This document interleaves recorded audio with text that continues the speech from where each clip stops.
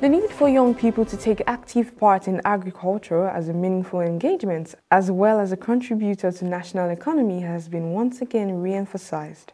Dr. Beret Benoy, an expatriate and the chairman of Contact Group in an interview with our correspondent, stated that his organization is positioning to impact in the Nigerian agricultural sector and would love to empower willing youths who would venture in the sector with the necessary inputs we want the youth to get involved with farming.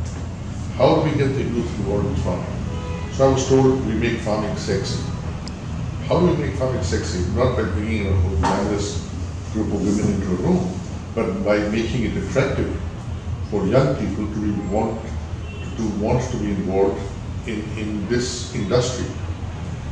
So we have brought in things like uh, uh, drone piloting, we have got licenses now to teach young people how to pilot drones. So they become drone captains.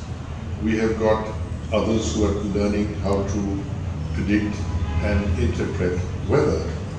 We have got others who are being able to communicate through phones that we are making to the same drones, to our uh, terminals that we have set up everywhere, to talking to call centers, call centers that are telling them what, what they need to know, how they need to go about it. Benoy further revealed that his organization is setting up a farm in the Kwali area of the Federal Capital Territory that can employ up to 50,000 people in various agricultural productions and urge the federal government to assist in their own capacity to make their project a reality. It applies more to state governments, I suppose, is that you give us five or six people of one farming family, give them one hectare of land.